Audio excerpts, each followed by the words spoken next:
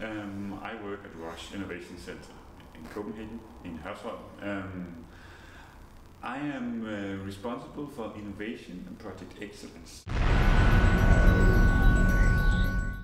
That was a that was a fabulous and uh, and also very educational process, but uh, um, it's uh, so it's. Uh, I think it all took sort of three months or so uh, from from when when we started and say, okay, for our business area, we do need an explicit strategy.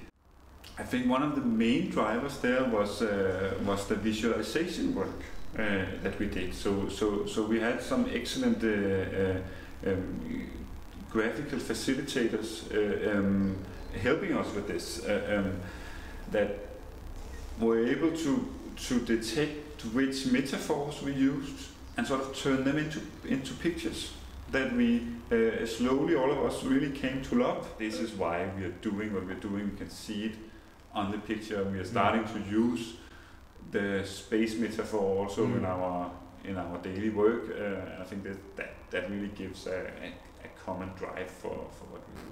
That's great.